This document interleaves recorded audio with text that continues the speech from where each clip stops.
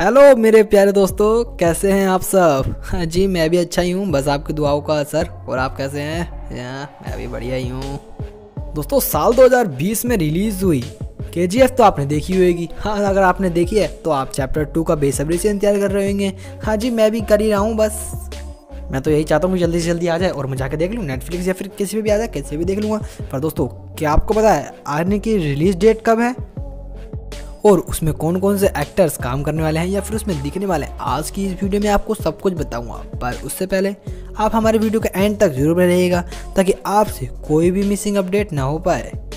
दोस्तों, उससे पहले मेरी आपसे एक छोटी सी रिक्वेस्ट है। अगर आपने हमारे चैनल को सब्सक्राइब नहीं किया है तो जल्दी से चैनल को सब्सक्राइब कर दें। साथ ही बेल आइकन को प्रेस करना बिल्कुल ना भूलें।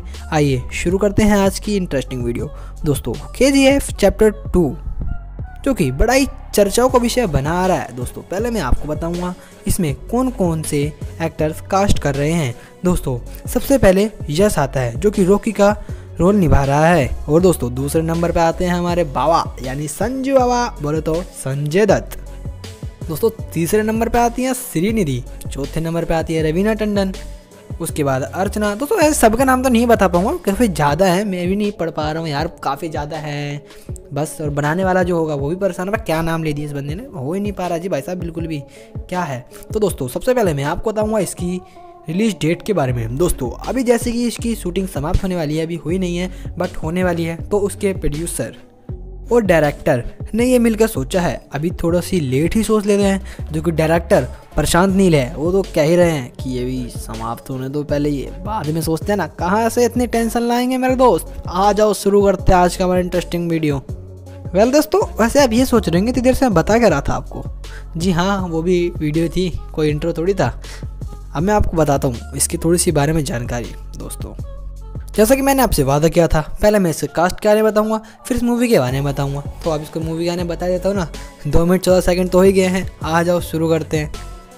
दोस्तों के चैप्टर वन के ख़त्म होते ही के के फैंस को बड़ा ही बेसब्री से इंतज़ार था कि के चैप्टर टू कब आएगा। दोस्तों, आज हम उसके ऊपर वीडियो बना के लिए ला चुके हैं और आप हमारी वीडियो देख रहे हैं। उम्मीद है आपने नाश्ता पान करके हमारी वीडियो देख ही रहे होंगे।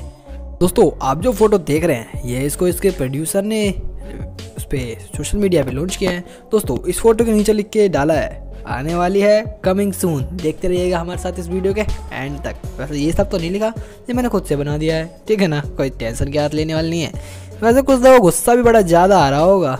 ठीक है ना? मैं समझ सकता हूँ अभी गर्मी को। दोस्तों, वैसे मैं आपको बता दूँ, गुस्सा तो इस टाइम यश को आ रहा होगा, जो कि के में तो शूटिंग करवा रहा है अपनी। इस टाइम उसको बड़ा ही गुस्सा आएगा, तब वो ये वीडियो जाएगी उसके सामने। तो वो तो पागल ही हो जाएगा।